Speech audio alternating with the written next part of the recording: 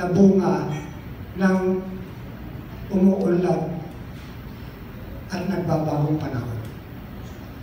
Sa hanay po namin mga katutubo, ito na-share ko na po sa DepEd, kaya yung DepEd Region 3 ay nagbabalak siyang mag-develop ng isang curriculum paano mapipreserve ang aming distinct identity bilang mga katutubo mamaya. Ako po, personally, ayaw ko pong, kagaya po ng iba pang tribal leader, gusto po namin ma-preserve ang aming distinct identity. Bakit po?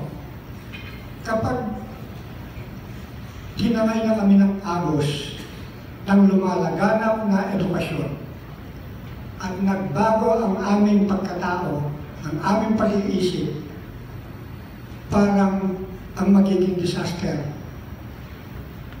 nawala ang aming distinct identity. Hindi po ba disaster yon?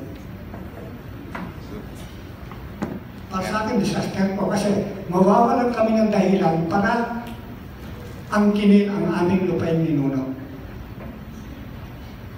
Kapag hindi ka nakatutubong mag-isip, ano pang dahilan mo para may lupang ninuno ka? Di po ba? At wala na tayong pinagkaiba ng galaw. Magkakaiba lang tayo siguro ng itsura. Ako, kagaya ko, yung mga lahi ko, kulot pa rin, maitim pa rin. Pero ang galaw nila, pare-pareho na tayo. Hindi na kami pwedeng masabing katutubo o indigenous peoples.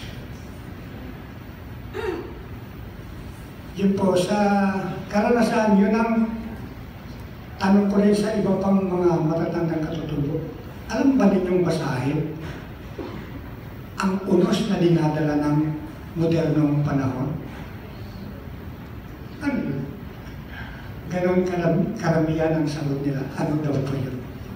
Ayaw ba daw, ayaw daw ba natin sumabay sa nagbabagong panahon?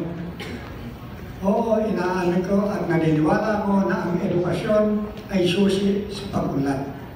Pero magiging susi rin kaya sa pag-unlad ang edukasyon kung sisira siya ng identity ng isang grupo o isang bahagi ng mamayan dito sa bansa. Yun po yung nais kong i-share, kaya nag-suggest ako sa DepEd kung paano kami tulungan ng mapreserba.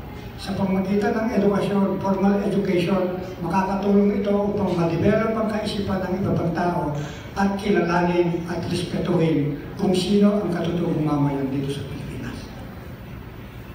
Hindi lamang po yung magkasama tayo, nagiging magkaibigan tayo, nagre-respetuhan, pero ang tunay na pagrespeto, yung kinilala mo ang kanyang pagkatao, kinilala mo yung kanyang pag-ugali, at kinilala mo yung kanyang karapatan.